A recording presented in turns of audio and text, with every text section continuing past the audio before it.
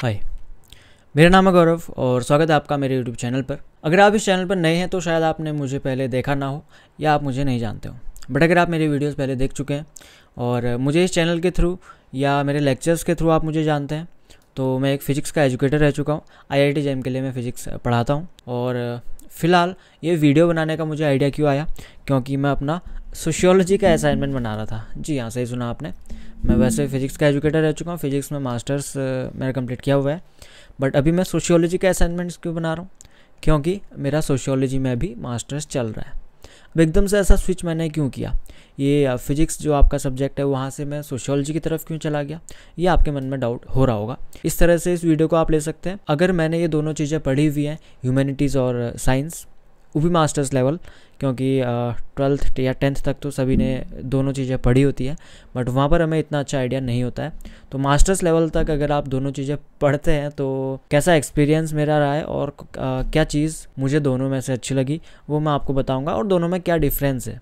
अगर आप एक साइंस के स्टूडेंट हैं और अगर आप ह्यूमैनिटीज़ के स्टूडेंट हैं तो दोनों के लिए आपके लिए ये वीडियो है क्योंकि आप समझ पाएँगे कि कैसे साइंस का जो बैकग्राउंड है और साइंस का जो साइंस की जो पढ़ाई है वो अलग है और ह्यूमैनिटीज़ की पढ़ाई किस तरह से और किन मायनों में अलग है वो इस वीडियो में मैं आपको बताऊँगा। तो एक जनरल डिस्कशन है कि क्या फ़र्क होता है दोनों चीज़ों में और मुझे क्या पर्सनली पसंद आया और क्यों मैंने एकदम से स्विच किया क्योंकि मास्टर्स लेवल तक फ़िज़िक्स पढ़ना कोई ईजी बात नहीं है।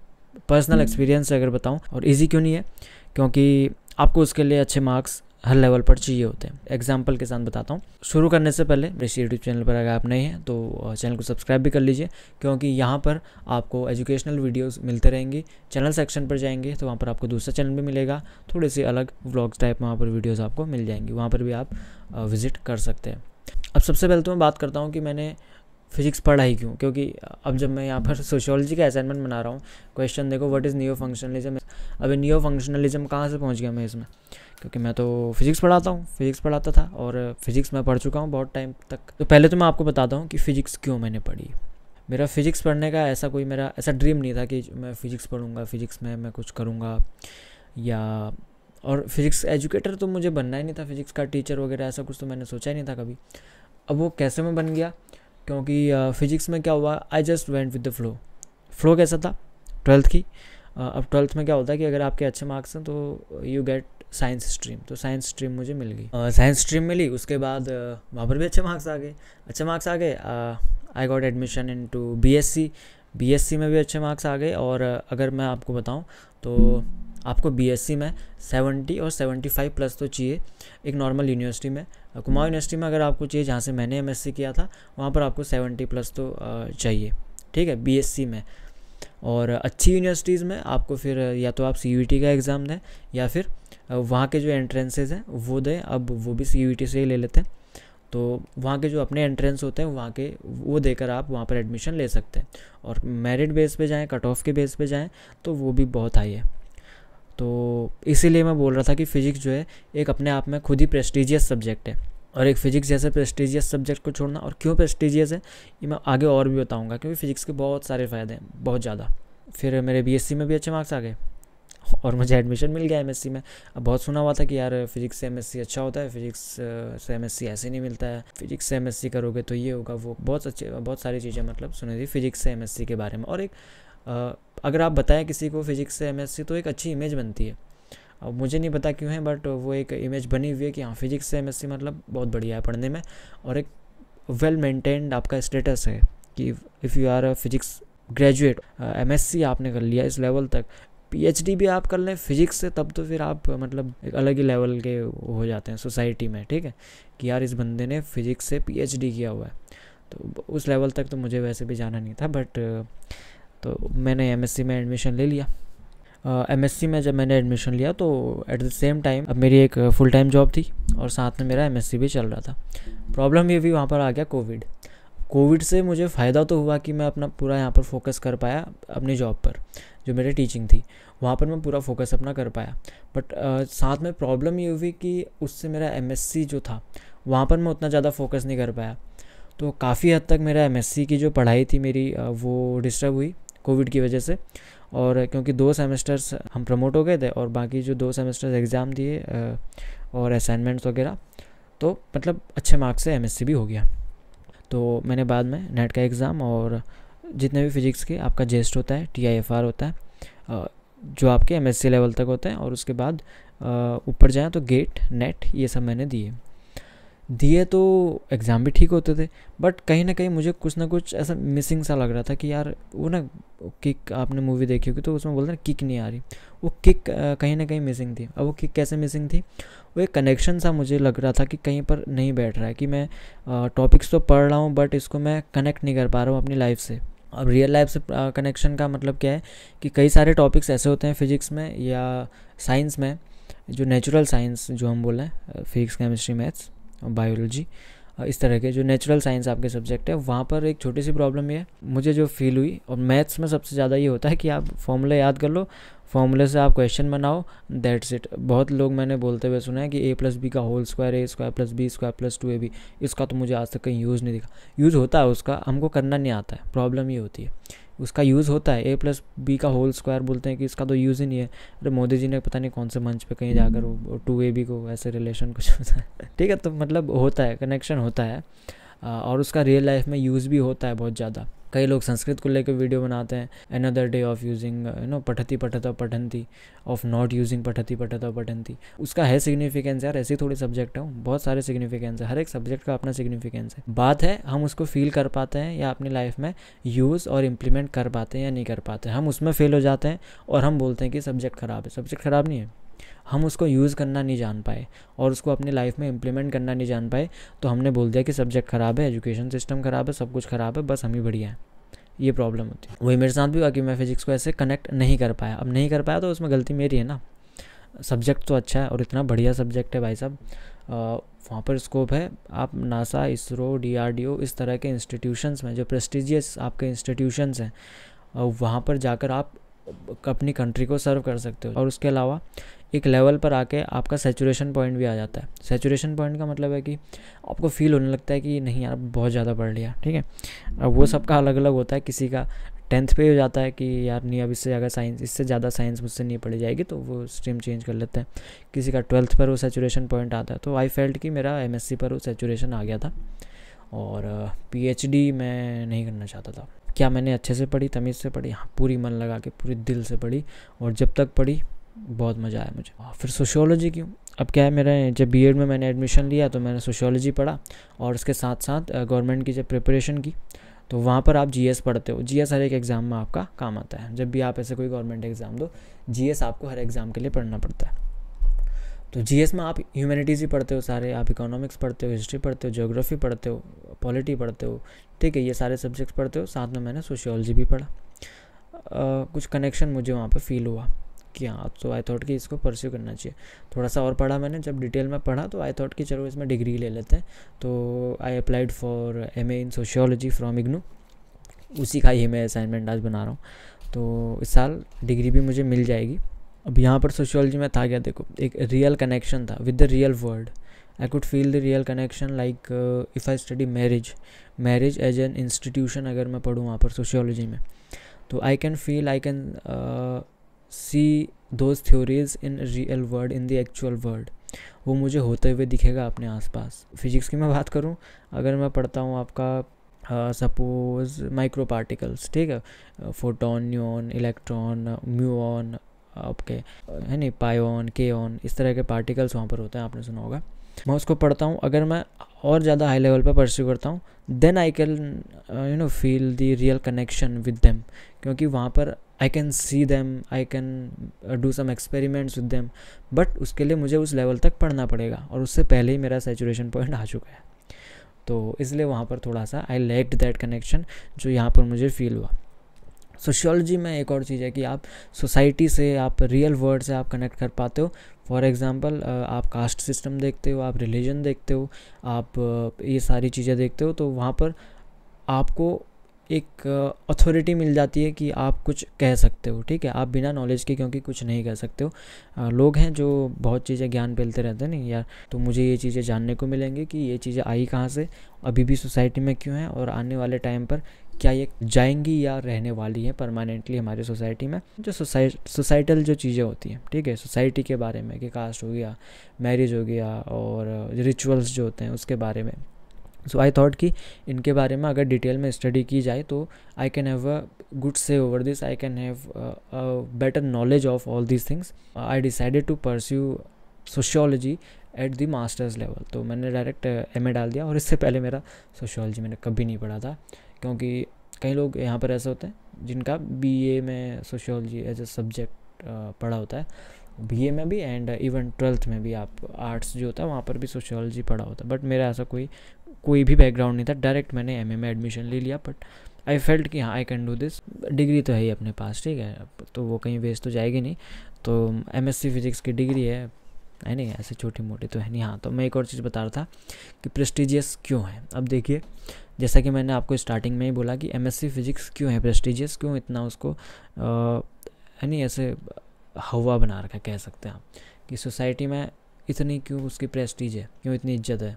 तो सबसे पहले तो क्या है कि वहाँ पर एडमिशन जब आप लेते हो, तभी आपको एडमिशन मुश्किल से मिलता है और ये भी माना जाता है, माना भी जाता है और कई सारी थ्योरीज भी हैं कि अगर आप साइंस के स्टूडेंट हैं, आप साइंस के सब्जेक्ट्स पढ़ते हैं so you have a better IQ आपका आईक्यू बेटर होता है। जो इंटेलिजेंस है आई क्यू बोले आई क्यू तो मेज़रमेंट है, आपका एक है नहीं इंटेलिजेंस को मेज़र करने का एक टूल है। इंटेलिजेंस अगर एक ब्रॉडर सेंस में बोलो तो अगर आप एक साइंस के स्टूडेंट है so you have a better chance to be more intelligent ठीक है? More intelligent in the sense कि you have a better reasoning power you have a better arithmetic power you have a better calculation ठीक है? इन तरह की चीज़ों में आप अच्छा कर सकते हैं। बट वहाँ पर लैक करती है आपकी सोसाइटल अंडरस्टैंडिंग आपकी ह्यूमैनिटीज़ में जो चीज़ें हैं, उसकी अंडरस्टैंडिंग थोड़ा कम पड़ती है. बट इंटेलिजेंस को अगर हम मेज़र करें तो साइंस के लेवल पर आपका आईक्यू थोड़ा हाई माना जाता है और वो स्टडीज़ बताती भी है. उसके अलावा फिर एडमिशन में जैसा मैंने बताया, बहुत हाई कट ऑफ़ जाती है. एग्ज़ाम्पल के लिए आप ले लें बी ए में अगर आपको एडमिशन लेना है तो आप इजीली ले सकते हैं. बट एमएससी में अगर आपको एडमिशन लेना है उसमें भी होता है ना, बहुत सारे सब्जेक्ट्स होते हैं। जब आप एंटर करते हैं, तब तो आपको पता चलता है कि आप बायो वाले हैं तो भी बॉटनी और आपका जूलॉजी में आपने फील किया होगा, एक सब्जेक्ट टफ़ होता है उसमें एडमिशन मिलना। हो शायद जूलॉजी में टफ़ होता है, मुझे आइडिया नहीं है बट सेम चीज़ यहाँ पर भी है कि फ़िज़िक्स में आपको एडमिशन मिलना थोड़ा सा टफ़ होता है। सीट्स भी कम होती है सब जगह, इसलिए भी एडमिशन मिलना टफ़ होता है। तो इसलिए भी थोड़ा सा इज़्ज़त बढ़ जाती है, क्योंकि यार, जो चीज़ थोड़ा मुश्किल से मिलती है ना, उसकी इज़्ज़त वैसी थोड़ी बढ़ जाती है। उसके बाद भी अगर बात करें तो पहले से ही कम लोग आ रहे हैं। एम एस सी फिज़िक्स वाले तो बाद में जो जॉब वगैरह रहती है, वहाँ पर भी अच्छे आपके चांसेस होते हैं अच्छा स्कोप रहता है। और प्रमोशन की बात करें तो वो भी जल्दी होता है। टीचिंग फ़ील्ड में अगर आप आएँ तो you have a better chance to get promoted earlier जल्दी आपका प्रमोशन हो सकता है अगर आप फिज़िक्स वाले हैं, है नहीं? तो ये चीज़ होती है, इसीलिए उसका थोड़ा एक अच्छा प्रेस्टीज है सोसाइटी में। अब बात करते हैं कि दोनों में डिफरेंस क्या है। कि मैंने साइंस भी पढ़ा, मैंने ह्यूमैनिटीज़ भी पढ़ा, ठीक है? फिजिक्स सोशियोलॉजी दोनों पढ़ा डिफरेंस क्या पहला डिफरेंस तो ये ऑब्जेक्टिविटी और सब्जेक्टिविटी का, कि जो आपका साइंस के सब्जेक्ट है, बहुत ऑब्जेक्टिव है। ऑब्जेक्टिव मतलब कि वही जो प्राइम मिनिस्टर हमारे प्राइम मिनिस्टर कौन है? तो हम बोलेंगे नरेंद्र मोदी, ठीक है? तो मोदी जी जो है प्राइम मिनिस्टर हैं, वो हैं।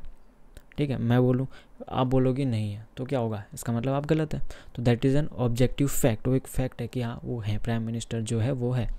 बट सब्जेक्टिविटी का मतलब क्या है? कि मैं पूछूँ, क्या मोदी जी एक अच्छे प्राइम मिनिस्टर हैं? अब वहाँ पर सब्जेक्टिविटी आ जाएगी, कुछ को अच्छे लगेंगे, कुछ को बुरे लगेंगे। तो this is the difference between objectivity and subjectivity so this is what you feel when you study these two domains science and humanities.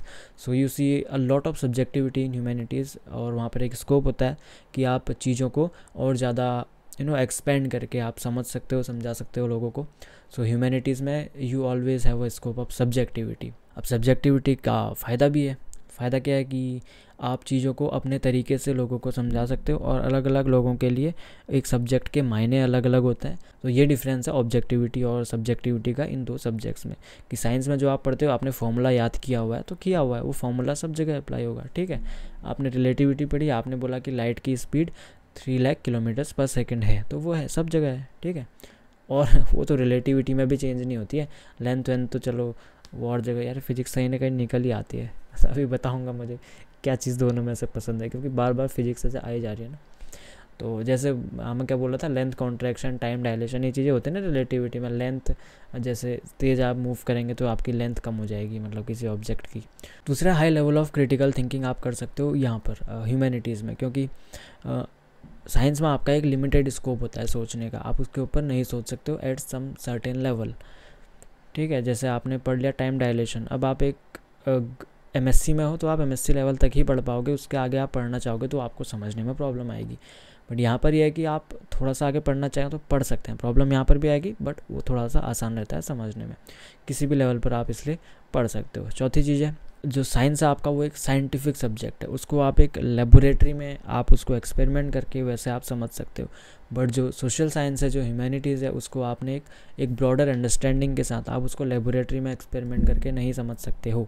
आपने किसी पार्टिकल का बिहेवियर समझना है इलेक्ट्रॉन का बिहेवियर समझना है रदरफोर्ड एक्सपेरिमेंट सपोज़ आप गोल्ड फॉइल पे एक एटम मारोगे, आप एक इलेक्ट्रॉन मारोगे, आप उसका बिहेवियर देख सकते हो कि किस तरह से होगा। आप इस लैब में करो, किसी और लैब में करो, बाहर पर करो, अंदर करो, कहीं पर करो अगर आपने कंडीशन सेम रखी हुई है तो आपको रिज़ल्ट भी सेम मिलेगा। बट वो आपका सोशल साइंस में नहीं होता है। सोशोलॉजी की अगर मैं बात करूँ सपोज़ तो आपको सोसाइटी में कोई एक्सपेरिमेंट अगर करना है, आप एक सैंपल यानी दस लोग उठाकर अपने एक लेबोरेटरी में या रूम में ले आएँ, उन पर कोई एक्सपेरिमेंट करें तो आप ये नहीं बोल सकते कि यहाँ पर जो रिज़ल्ट आया, वो बाहर सारे सोसाइटी में एप्लीकेबल होगा। So this is also difference between these two subjects यहाँ पर मुझे फील हुई इंटरलिंकिंग भी काफ़ी ज़्यादा है। सपोज़ आप यहाँ पर सोशोलॉजी पढ़ लें तो सोशोलॉजी में आप सोसाइटी के बारे में पढ़ेंगे सोसाइटी के साथ आप पॉलिटी भी पढ़ेंगे कि सोसाइटी में कैसे पॉलिटी काम करती है। पॉलिटी कैसे काम करती है सोसाइटी का इथिक्स कैसे काम करता है और सोसाइटी में इकोनॉमी कैसे काम करती है तो वहाँ पर आपको सबके बीच में एक कनेक्शन आपको देखने को मिला। तो इंटरलिंकिंग आपकी अच्छी हुई। इकोनॉमी आप पढ़ लें तो इकोनॉमी में आप पढ़ेंगे कि इकोनॉमी ठीक है ऐसे ऐसे काम करती है ये ये कुछ फैक्टर्स हैं और ये कुछ फैक्ट्स हैं इकोनॉमी के बट साथ में इकोनॉमी में चेंजेस जो आते हैं, वो चेंजेस कैसे आएँगे? पॉलिसी से आएँगे पॉलिसी मेकिंग होगी। अब आप पढ़ेंगे कि पॉलिसी मेकिंग होती कैसे? तो there is a linkage between economy and polity फिर आप पढ़ेंगे इकोनॉमी अच्छा अभी ऐसी है तो दस साल पहले कैसी थी? पचास साल पहले कैसी थी? और अगर ऐसी थी तो क्यों भी? So there is a timeline of economy as well तो वहाँ पर आप हिस्ट्री से कनेक्ट उसको कर सकते हो कि कब कौन सी गवर्नमेंट आई, उसकी कैसी पॉलिसीज़ रही और उसकी वजह से इकोनॉमी में क्या चेंज आए। So this is about humanities की आप कैसे इसमें इंटरलिंकिंग कर सकते हो। So this is another factor जो डिफ्रेंशिएट करता है दोनों सब्जेक्ट को। इसके अलावा भी बहुत सारी चीज़ें हैं जो दोनों में अलग अलग होती है। अब आप मुझसे पूछेंगे कि मुझे क्या पसंद आया दोनों में से, क्योंकि एक अच्छे खासे लेवल तक मैंने फिज़िक्स पढ़ी हुई है। क्या मुझे ज़्यादा पसंद आया? अब बात ऐसी है कि जब जो मैंने पढ़ा ना जिस टाइम पे मैं फ़िज़िक्स पढ़ रहा था उस टाइम पे मुझे फ़िज़िक्स बहुत बढ़िया लगा। फ़िज़िक्स से रिलेटेड कोई न्यूज़ आती है कोई आर्टिकल कुछ भी आता है तो I love reading that oh वो पता ना पहला प्यार। स्कूल वाला लव होता है ना एक स्कूल वाला लव होता है जिसको आप भुला तो चुके हैं बट वो कहीं ना कहीं आपके जहन में है ठीक है? आप छोड़ चुके हैं उसको आपको पता है कि आ, बहुत कम पॉसिबिलिटीज़ हैं फ्यूचर की इसके साथ। बट स्टिल आप कहीं ना कहीं एक कनेक्शन फील करते हैं। जब भी आपको दिख जाए ऐसा कुछ हो जाए तो you feel a connection so that is your school crush और यू नो वो चीज़ होती है तो समथिंग लाइक दैट वो फिज़िक्स के साथ है। अब, जैसे मैं मान लो, ऊपर रैक पे मेरी किताबें रखी हुई हैं फिजिक्स की सारी। मैं उनको देखता हूँ, कभी नोट्स दिख जाए मुझे तो वो ऐसा नोस्टैल्जिया में चला जाता हूँ कि यार, क्या टाइम था मैंने फिजिक्स पढ़ी थी। तो इट्स लाइक नो एक्स ठीक है। तो एक्स को क्या होता है, आप भुला भी नहीं सकते हो और कभी आपको कुछ मिल जाए, कोई उससे रिलेटेड चीज़ मिल जाए, मान लो कोई गिफ्ट है, कोई रिंग है, आपको दिख जाए तो अरे आप यादों में खो जाते हो, अरे यार ये रिंग उसने मुझे दी थी। और ह्यूमैनिटीज़ के सब्जेक्ट पढ़ने में वही मैंने जो जो डिफ्रेंशिएशन जो मैंने किया डिफ्रेंशिएशन जो मैंने ऊपर किया, उसके बेसिस पे yes I am loving sociology right now और फिज़िक्स को आगे फर्दर पीएचडी तक करने का, नहीं, मेरा ऐसा कोई इरादा नहीं है। पहले भी नहीं था और अभी भी पूछोगे तो नहीं है। But sociology yes I can pursue it further P H D level तक आई कैन डू दिस वो मुझे इसमें पोटेंशियल दिखता है। अपने अंदर भी वो पोटेंशियल दिखता है कि मैं इसको आगे परस्यू कर सकूँ। वो फिज़िक्स में मुझे नहीं दिखा। फिज़िक्स भी जब पढ़ी तो यार बहुत प्यार से पढ़ी। बहुत तमीज़ से, बहुत अच्छे से, एकदम प्रॉपर रिसर्च करके मैं पढ़ता था, क्योंकि कोई टॉपिक पढ़ो समझना है तो उसको ढूंढो इधर उधर फिर उसके नोट्स बनाओ। मैंने पूरा पूरा रैक मेरा यहाँ से, वहाँ तक, सारे फिज़िक्स के नोट्स से, और सारी जितनी बुक्स होती हैं आपकी, एक अच्छे लेवल की आपको बुक्स चाहिए होती है, वो सारी बुक्स ली, सारी पढ़ी, उसके नोट्स बनाए, और एक अच्छी अंडरस्टैंडिंग फिजिक्स की। बन गई थी और अभी भी I just have to brush up that again ठीक है? उसको ब्रश अप करूँगा एंड वो फिर से कॉग्निशन में आ जाएगा। वो ऐसे भूलते नहीं हम, वो बस सबकॉन्शियस में हमारे, उसको हमने कॉग्निशन में लाना होता, आगे लाना होता तो ब्रश अप करेंगे तो नो वो फिर से ऐसे उभर के बाहर आ जाएगा। बट अभी के लिए उसको ऐसे कवर अप कर लिया सोशियोलॉजी ने and I am loving it तो वही है, ये सब किताबें अभी चल रही है। बस मेरा ऐसे मन हुआ कि एक वीडियो बना ली जाए, चलो एक डिस्कशन किया जाए।